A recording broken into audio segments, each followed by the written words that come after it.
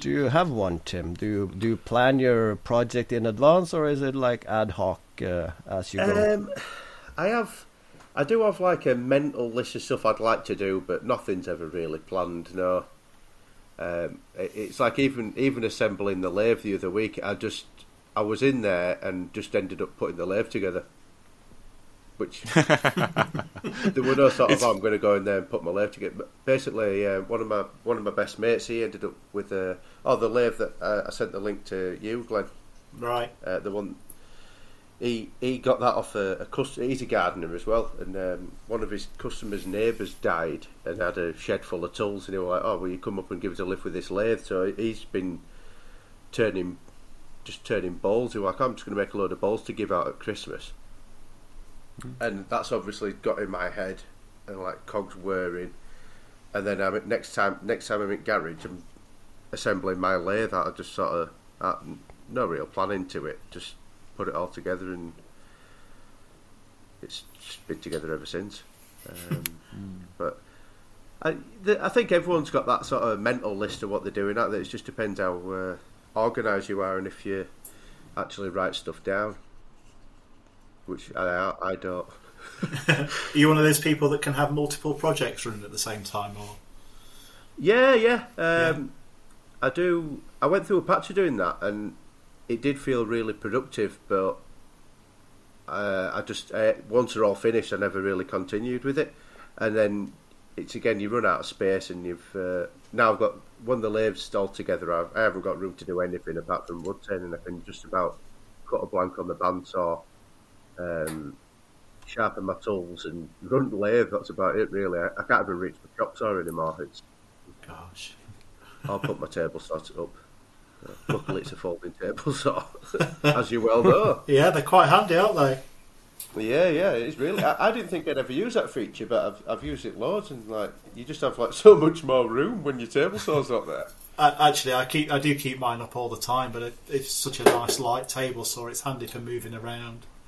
Yeah, and the uh, the sliding panel bit's great, isn't it? I, I, I was chuffed a bit yeah. with that part. Have you made a sled for yours yet? No, I've not really needed to. I, it, sort of, I have had them on uh, my old table saw, yeah. but then I never knew what to do with the sled. It would just kicking about and it right. would just get dropped and it'd be out of square and just nowhere to keep it. So, uh, yeah. because the because the um, the the evolution saw's got the sliding compound table. You can uh, put a little um, like lug nut, if you like, on the sled, which when you pull the, the sled towards you, the compound table actually supports it, so it never tilts away. It's fantastic. Really good feature for that. Yeah. I say I very rarely use my compound saw now. I do most of my cuts like that on the sled. Ah, right, okay. I just I didn't know how accurate the um, the actual mitre, what they called the is it a mitre gauge? The yeah, yeah. Adjusted bit. uh, I, I, didn't I didn't know how accurate that would be, but I've, it seems it seems good. Yeah, right. Uh, I've got no I, have used it just to have a bit of a fuck about with it, basically, and that's uh, that's yeah. it. I've, uh, I, I, just because like working on site, it were always chop saws, so I, that's the first thing I think of. Just if I need to cut something, it's just chop saw. Right. And then obviously you're trying to like rip rip the longest board you can in a, in a chop saw just because it's easier than getting a table saw out. or, like you're, you're, lifting boards up while you chop them and stuff. Uh, and then yeah, accidents happen. Yeah. But yeah, I need to I need to get into the mindset using the table saw more definitely. yeah, same here. Yeah. I early on when I established my workshop, I, I built a table with an integrated, uh, of course, table saw, and then I also made a, a decent sled for it, but I never got around to make the grooves in the tabletop so I can push it all the way. Yeah. And then I never basically had the use for it, and now I also got the track saw, so it's easier just to pull that out. So the I'm not racking that much hour on the table saw, but when I need it, it's really nice. But it's mostly in the summertime when I can wheel it outside and I need to cut lengths and lengths of plywood or something. Yeah, as you say, like the the track saws are amazing. My only issue with the track saw is having somewhere to actually put the material while you're cutting it. So a lot of the time Yeah. I have to put my table saw away, then get sawhorses out because my all my workbenches are just covered in shit, and um, you just think, oh, I just could just get the table saw out. That's one It's, tool. uh, I'd, it's- yeah, one tool I'd like to add to my, my collection is a, um, a track saw, but just for the sheet goods. They're a bit problematic to break down, aren't they, when they're a full sheet? Yeah, that that's how I ended up with. Um, it was just a Mac Allister one from B and Q. They were selling them off for Ah, okay. forty-five quid or something. Right. So I thought, well, you can't lose one, and um, I, I've been using that one right up until when Triton sent me their track saw for the Right. build off. Because at the end of the build off, they just went, "Oh, we want to send you something for running the build off," and it was a track saw, which. I haven't got it out of the box yet because I've just been playing with my. But Right. um, I think I think the Triton ones are actually pretty decent, aren't they? yeah, it's, um, I've heard I've heard good things about it. Yeah. Um, I can't I can't fault that Mac Allister one. To be fair, it's it's Yeah. been as good as you'd expect, really, and it, it's Right. been through hell. Like I've all the safeties have been snapped off it. Um, it's got no kickback features at all now. It's just basically no. It's a feature. I've had to like lock it off to cut at ninety degrees because the the angle in it just won't work anymore. It's all just bolted Right. rigid just to do one job. So My my see how the first one puts up with yeah, it. my first circular saw was a uh, Mac Allister, and that fucking thing exploded on me. I don't know what the hell was going on. I was just cutting a piece of wood, not doing anything stupid, and the blade and the guard got tangled up and just shattered. Ah, wow. Yeah, cut my hand. That's fun. Made my puma pants. My um, my first table saw did something similar. I was it was summertime and I had the garage door open, and my my garage isn't like hardwired into the electrics. It's just on an extension because Sure, you know, why would I why would I do that? um, and I was cutting something, and the the blade fell, hit the um, metal insert plate, uh, and it was just starting to cut through itself. The saw, so I just like, ran into the kitchen, unplugged it, and um, the motor and drive assembly had unbolted itself off the table saw and was just cutting through the its own tabletop. Bloody hell. But uh, luckily, um, one of the Scheppach main dealers is like three miles from my house, so I just drove it down there. Waited twenty minutes, they fixed it, put it back in the car, brought it home, carried on. It was great. It's really handy. they didn't even ask how Nice. what had happened. I think what's more astounding is it didn't put you off using it. no, yeah, that's why you keep your hands out the way, isn't it? Just in case these things do happen. But I, I think I heard the other day, and I don't know if it's on the world basis or, this was just in the states. But anyhow, it's a large number. But it is like thirty thousand table saw incidents every year. That's a huge yeah, number. I think I've heard that. Yeah, it's a lot. and I'm I'm terrified every time I'm using it. I'm I'm standing to the side. I don't want to get anywhere close to it. Uh, but yeah, people are still getting hurt. Like, It's like everyone with these saw stops and they think they're super safe and stuff, but like kick, you can still kick back, can it? Yeah. Yeah, like- and I mean if they also now that I know they also uh, screw themselves loose and chase you, then of course I can understand the numbers are kind of high. Yeah, that's. But the biggest safety thing is have your garage run off an extension into the kitchen, otherwise uh, you, there's nowhere to run, is there?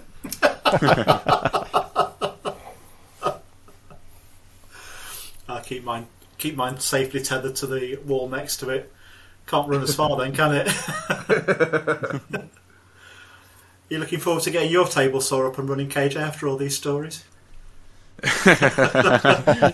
yeah, I'm really eager. It feels. Yeah, yeah. I haven't really used it uh, since I got it, but then again, it's a lot of the time has been winter time as well. And as I said before, I try to do all the dusty work outside because I don't want the the team version of the workshop with sawdust everywhere.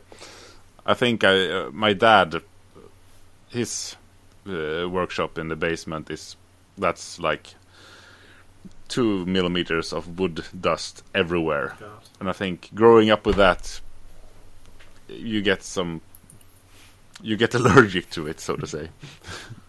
Think that's one of the main benefits of filming in the workshop. Actually, for me, I clean my workshop probably three or four times a week. A week? Yeah, that, a week, yeah, Lovely, eh? yeah. I don't think I've cleaned my workshop three or four times since I've had it. Well, I think you, you. It's quite funny when you do it, Tim, because you put it on Instagram so everybody knows the last time you did it. I think it was about July, August, wasn't it? Yeah, probably. oh, I yeah. thought that was another one of the volcanoes on Iceland, but it was Tim. Okay. Yeah. I just remember the sky went black over at uh, west, so No planes in the air. we have a dust cloud moving over the British Isles. I think all you achieved was a slightly cleaner for- floor, and you found a few more tools, didn't you? Yeah, that's it. It's it's just cheaper than going shopping for tools. Yeah, just find what's what's in, in the in the dust under the table. So yeah, ah. oh, Dear. it's definitely due another one. Yeah, oh, it will be from all that lathing. That's one of the things that's put me off getting one. To be fair, they are. It's a really messy thing, isn't Yeah. it? yeah. And what keep can you top of it, make it's not- basically? Say again, Haavard. Yeah, that that's the one thing. All the dust and shavings they make, but what can you make? I mean, you can only make so many table legs, and of course there is the odd uh, fruit bowl, but that's about it. And I mean, and these are the. Whenever someone talks about a lathe, I'm thinking about these '70s table legs with uh, the balls and the tapered and uh, all the intricate shavings. It, it really never interested me to try one. And then a friend of mine sent me a video of someone turning um, whiskey tumblers and then charring them on the inside. So you had like oak whiskey tumblers, and like for half a second, that's a neat idea. No, it's it's it's it that that's not even enough to make me get one. I don't know. I'm tempted now. Where's your mate live? yeah. Yeah, uh, lathe was actually one of the things in the really early days of my making career. Uh, when I was, I think, six or seven years old, I saw uh, saw it on, on TV and thought, "Man, this looks awesome!" I mean, it looks like magic when you're turning. So I got in my head, "Oh, I want to try this." Uh, so I so I, I don't uh, go someplace where they have it, so I can try it out. Uh, get in touch with my uncle who ha- had had a big or has a big uh, wood wood shop. No, I decided to save money to buy one myself. Yeah, that's the maker way. I mean, you don't Yeah, consult, so- you so just after- buy. yeah. So after two years, I've saved up uh, about like 150 quid, and this was in the late 80s, early 90s. And then the NES Nintendo system got out, so I bought that instead. Yeah. yeah, well, and if, if, totally forgot about woodworking for like 10 years. yeah, if you if you still got the well, if you still have that one on the original box, you can get a pretty decent lathe. Yeah, but it's still the mess. And uh, I mean, the, the only time of, time I've used a lathe was in wood wood shop class, what it's called, at school, and we were distinctly told that you're not allowed to do to make baseball bats. so I made a candle holder that's about 60, 70 centimeters long, with a very very grip uh, friendly uh, top piece, and it goes out pretty wide uh, in the end. That Yeah. was okay, apparently. Oh, that brought back memories. I mean, we we played a lot with various games uh, using bats, and of course, we we made them out of uh, two by fours, and you twiddled them down, and of course, there was this one kid who had a father who had a lathe, and we really wanted that bat, but yeah. so maybe that's. But now you can get bats, and I want a metal lathe so I can make an aluminum one. Yeah, maybe that's a Could- two for you could one. Turn aluminium on a wood lathe. Yeah, that's Yeah. true. Yeah. Yeah, I don't know if I'd want to, but you could. Do, do you just use the regular wood chisels, turning chisels?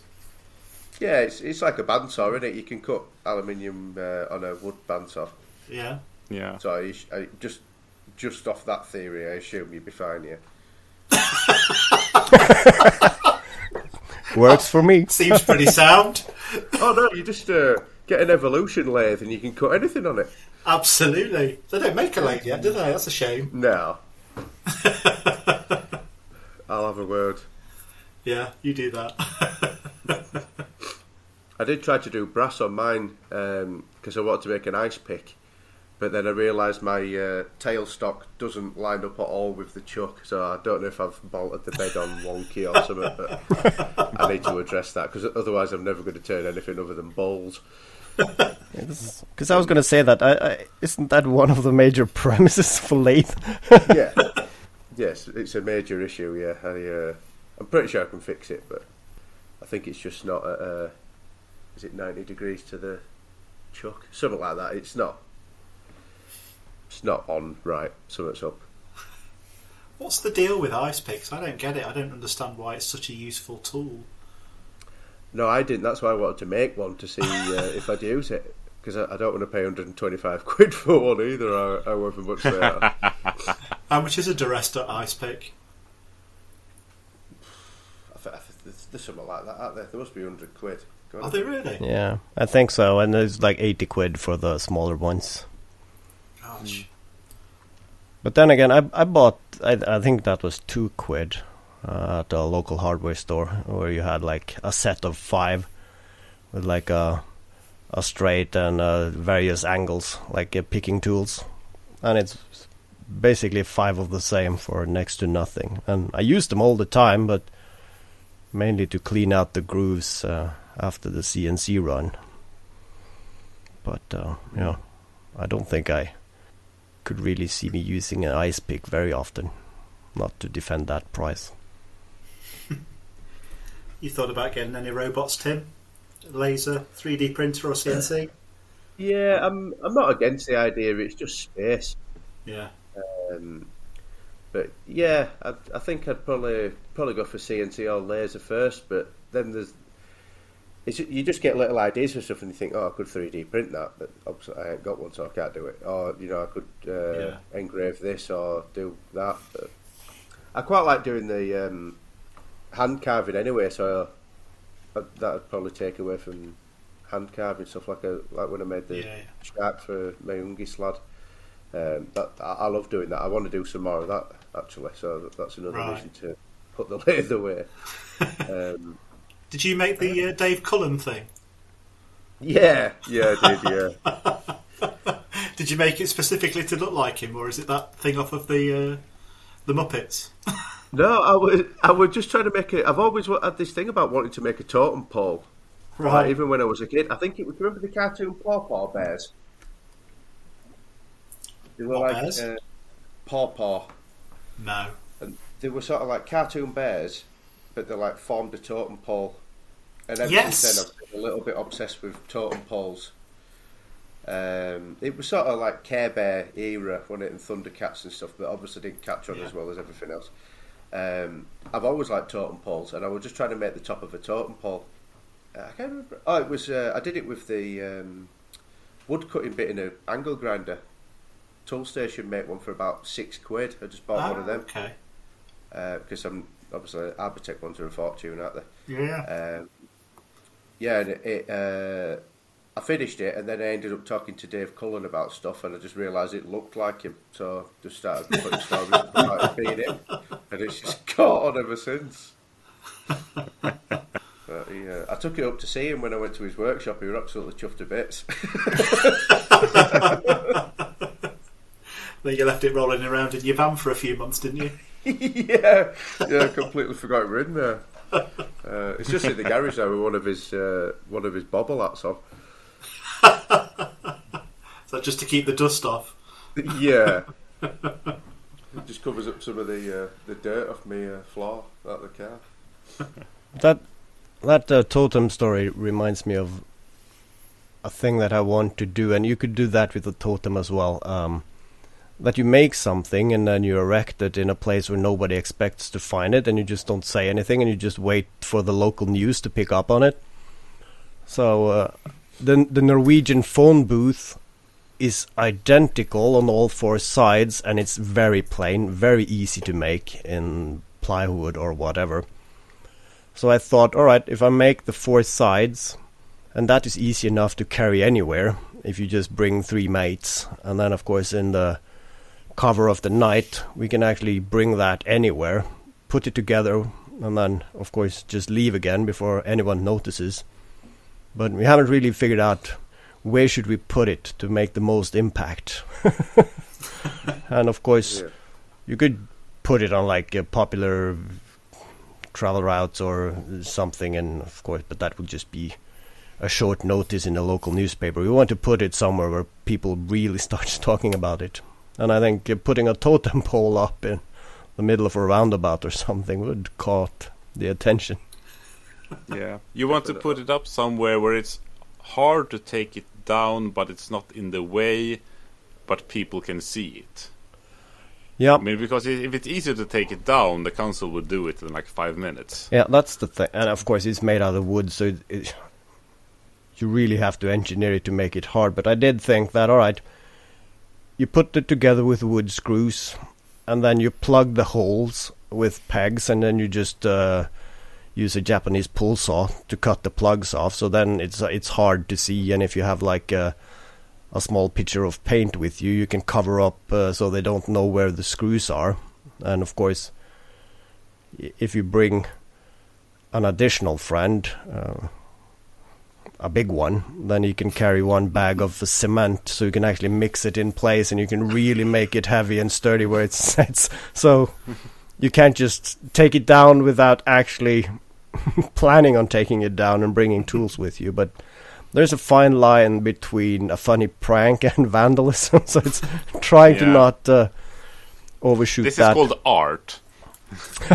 yeah. Art. But if you if you put something like that up in Scandinavia, you'd all just pretend to be frogs and hop around it, wouldn't you? Yeah, in Sweden it would probably just uh, mark the beginning of a new holiday. I'm just trying to think if you could attach one to a weather balloon if it'd actually lift it. I just need a big enough balloon. Problem is where it's gonna land. That that being said, my uh, my father uh, used to work as a radio officer on a diving vessel, and of course, they have tanks of tanks of hydrogen, no, um, of helium, because they use it in the dive operations. So they actually teamed up with the Meteorological Institute. So they got like a big bag of weather balloons and sensors and so on. So every other day they just sent up a balloon and of course uh, they had a lot more balloons than equipment that needed to be sending up so they just what else can we put into the air so there's a lot of debris around the world which is just based on uh, what can a weather balloon lift yeah.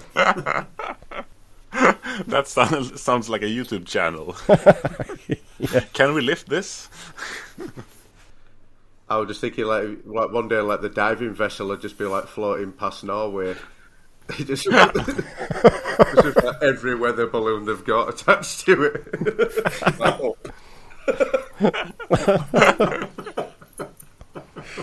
it's like the flying dutchman Always wanted to be in the Air Force. what were you going to say, Glenn?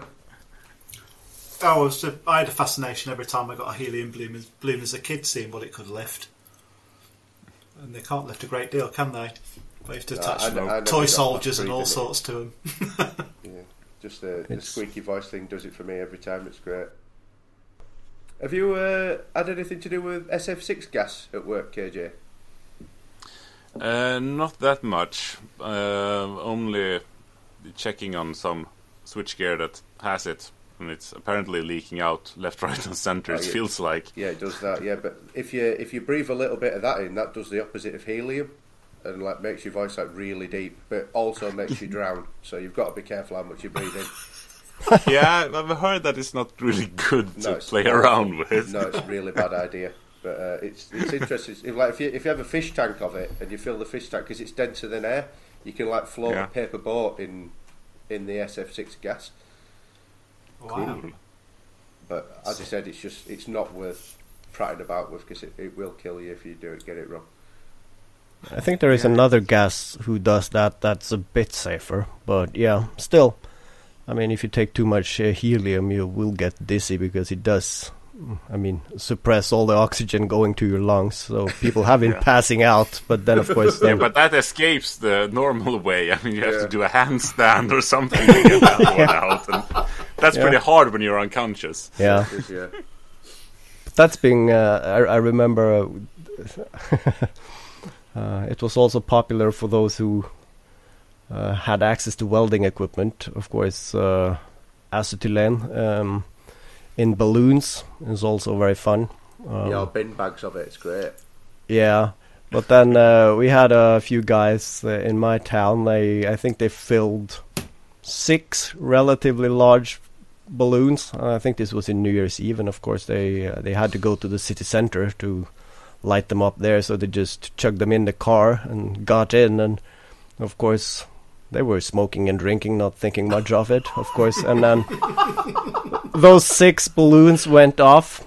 And it totaled the car and sent everyone to the hospital. And it's like uh, hearing loss, burning, blast, shock, you name it. That's that's a real nasty accident.